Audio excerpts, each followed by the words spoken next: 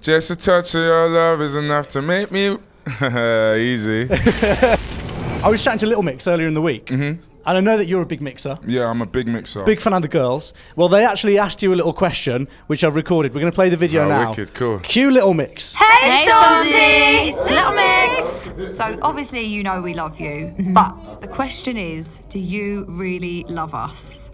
so, can you sing your favourite Little Mix song to Jimmy right now? No pressure. Oh. No pressure, Stormzy. Your favourite Little Mix song. Go on.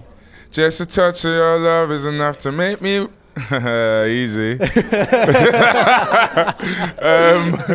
yeah, that's uh, that's all I got. That's all I got. I don't. I didn't want to get the words wrong for the mixers.